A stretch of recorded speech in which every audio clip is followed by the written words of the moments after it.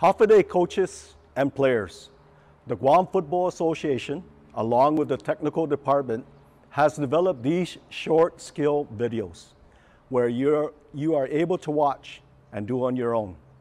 This is to prepare each player of what is expected of them when they return to the pitch. We hope you enjoy the video and we hope to see your skills improved.